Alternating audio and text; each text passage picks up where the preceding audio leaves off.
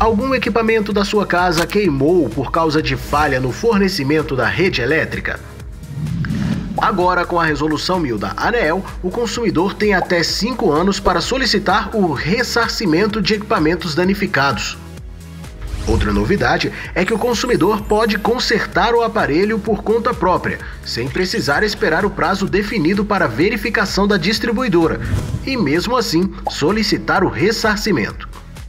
Atenção! Uma vez solicitado ressarcimento, a distribuidora deve verificar o aparelho em até um dia útil para aqueles utilizados em armazenamento de alimentos perecíveis ou medicamentos e em até 10 dias para os demais aparelhos. ANEEL Agência Nacional de Energia Elétrica